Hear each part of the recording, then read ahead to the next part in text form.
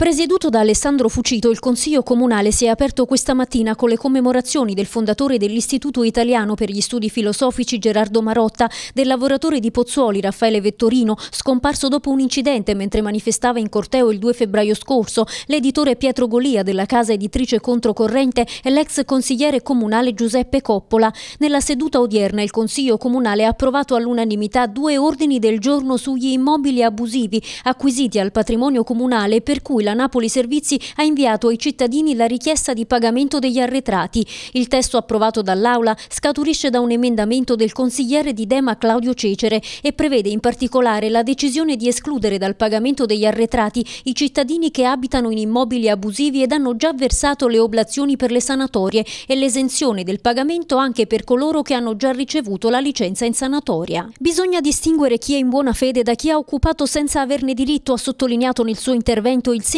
Luigi De Magistris, che ha definito meritoria l'azione messa in campo dal Comune per provare a dare ordine ad una situazione di assoluta incertezza e su cui non sono più ammissibili strumentalizzazioni politiche.